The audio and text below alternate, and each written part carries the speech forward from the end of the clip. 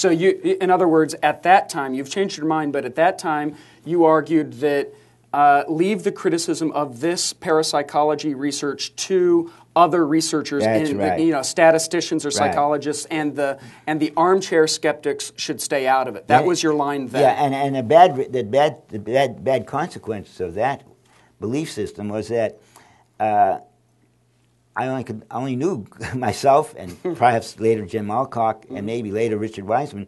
There are no other people who are, have the background to criticize it. Mm-hmm. No, who know the the area, what what they actually these parapsychologists actually are doing, and who have the statistical and the experimental know-how to mm-hmm. do it. So every time that someone wanted a critic, they would c- call me because once once you become known as as a, as an expert critic, mm. Everyone that's how you become an expert. Everyone now com- comes to you, Right. and every time a newspaper, uh, a TV station, anyone was going to do something, they'd always call me, and I say no, I don't want to get involved with it. They say, well, who who should we? Who can we? And I would think, I, well, I can't think of anyone else who has, so I better do it. Because of your position at the time That's that right. only a few qualified people exactly. could do it. Yeah. And unfortunately, even though I find it boring, I, I don't like reading or, or paying attention to it because parapsychology research is the most boring thing there is in the world. Believe me, it's just a bunch of guesses. Uh, lots of data, and you do statistical testing. And Well, it- and if, it has any connection to the paranormal, I don't know what the connection would be. So it's just dull. Well, uh, uh, you're, you're bringing up a couple things just then. One, this uh, uh, expert position that you and a couple others were in, and you said other skeptics were not qualified to engage in criticism. You've changed your mind on that. The other thing you just brought up is the notion of parapsychology being boring. Well, a lot of science is actually boring. A lot of uh, uh, you know, all due respect, we're at the National Science Foundation, but you know, a lot of uh, research is on very small questions. But when you put it all together, it helps flesh out our understanding of like the picture of reality. So I'm not sure if a criticism of parapsychology is that it's boring. The implications of it are in fact very exciting. If we could prove that minds exist outside the body or that minds can uh, in some extrasensory sort of way communicate or survive death, that's anything but boring. It's, it's, uh, it's the big questions. Well, uh, there's a lot of stuff you just brought up, uh, which is important to make out. First of all, science is not boring because it's dealing with very specific questions, mm-hmm. and these questions arise in the, in the, in the what Kuhn called normal science. In, the, in doing science, you have a framework, mm-hmm. and you're testing a theory, and you have hypotheses that come out of that framework, and each experiment sometimes can challenge, bring results that challenge the framework. It makes it interesting, but you know exactly what's going on. But And- you're saying in parapsychology that doesn't they don't have a framework. Yeah. They don't have any. They don't have a subject matter. They just have data. And if it has any collection to the paranormal, over 150 years, I've never seen them make any, show any connection. It's They just a don't- and they're not collection of. It's hits or misses. It's Yeah. not. You don't draw a direct line Yeah. to paranormal or parapsychological belief from all the hits and misses. I don't know. I don't know how anyone's ever demonstrated any connection or how uh, getting results that are sometimes people guessing better than chance under some conditions, how that relates to anything paranormal or anything else. Uh, it could be thousands of reasons why you get differences from chance. Most of it is because if you, you know, it's data mining and stuff like that, you know. Uh, but um, uh, there's been never any tie of a theory. They have what we call it, they, even parapsychologists, many of them recognize it. They don't have a positive theory of psi. When they do their research, uh, they have people guess or they do other things. They, what they have is you have a, a sets of alternatives, and then you have what should be expected by chance. And um, they don't have any r- rationale. They don't have a positive theory about what should what they should should be there, what the pattern of the result should be. Uh, so, what happens is what's called the patchwork quilt fallacy that they they fall into, uh, which other scientists don't do, because scientists do have a very specific hypothesis, and there's got to be a specific pattern they're predicting. Parapsychologists, uh, if you get something that's different from chance, and you can't explain it by right away. You can't explain it by some mundane, as they call it, mundane theory about the world that, in terms of ordinary science. Then they say, "Aha, parapsychology." So it's a negative definition of Mm-hmm. it. As a result, because it's negative, unlike other scientific testing and stuff like that, uh, there's no way for them to be wrong.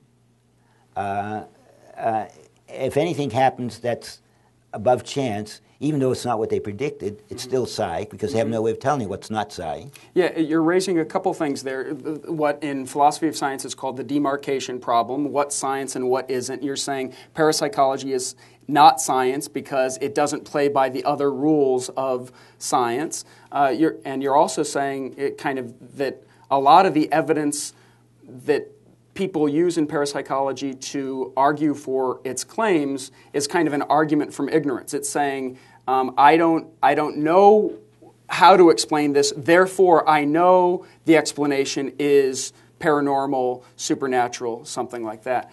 Um, and so you say it's out of the bounds of science, but for 50 years, you've, in a fair minded way, looked into it. Uh, you know, you, you've garnered this reputation being open minded. Uh, you haven't found any evidence to support it. Um, it sounds like you're suggesting um, maybe that wasn't the right approach. Well, you've got a lot of things you, you attributed to me and all that. I don't disagree with it, but I didn't say it so far. I haven't Right. said those things yet. You said them. Um, And we, we only have an hour and five minutes to see Right. if I'm right. Yeah. Okay. uh, yes, I did change my mind about a lot of things because up till 1950 was uh, the big, uh, the big uh, challenge where I took the Ganzfeld experiments. Again, I was challenged. I was asked to evaluate for two different things. For the IEEE, you know, uh, they, for some reason, broke their their rules, and they actually published a long article by Robert Jahn, pro parapsychology, and that created a furor. So they decided to balance it with me, and so I was asked to do a tutorial on parapsychology for the IEEE journal. You know, uh, something they don't usually deal with in that kind of a journal, um, and. Um, to do that, and then I was also asked at another time, it was the 100th anniversary of the founding of the uh, Society for Psychical Research. In 1982 was the 100th anniversary, and uh, they held it at Cambridge, England, and they invited me to come as a skeptic to talk.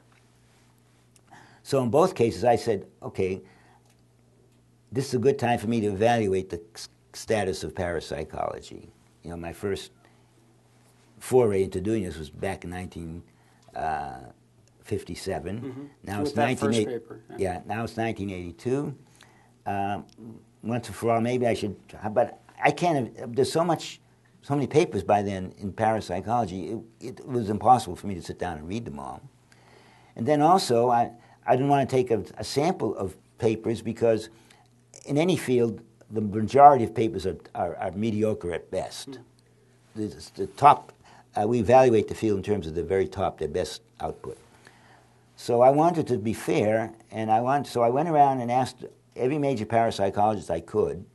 I said, "Could you tell me what is the best evidence you have now, the best program in parapsychology, very best?" And unanimously, almost unanimously, they said this Ganzfeld experiments. So I then asked Ch- Charles Honorton, who published the first Ganzfeld experiment, uh, if he could help me. Uh, I was, was interested in evaluating them, and he was all excited to have an outsider, you know, uh, to look into their what they he considered their best uh, research. And he said he would help me get every paper, even the unpublished ones.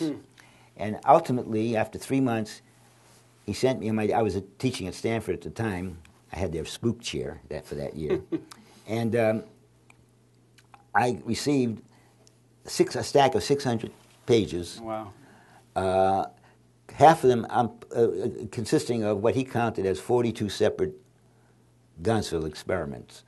That's an issue we won't get into now, but how, how you count what's an experiment, what's not, it was a big, can be a big issue. But there were fewer reports than that, but they covered. He called. He counted as 42 separate experiments, and most of them were significant. Okay, and uh, this is what I had to evaluate. It took me um, ultimately three months my first go around. Actually, ultimately, it, it, took up three my three years of my life, most of my professional life, to go into this big battle, which culminated in a 1985 issue of the Journal of the Parapsychological Association, and they devoted the whole issue to this contra- this debate between Monaghan and myself. I had something like 50 pages or plus of my critique mm-hmm. of that Ganzfeld literature, and Honorton had been given a year to go over that to, re, to, to, make a to, to, get make his reply, and he had a long reply there. Uh, I thought his reply was in many ways stupid. He and he didn't like my thing in the first place, obviously.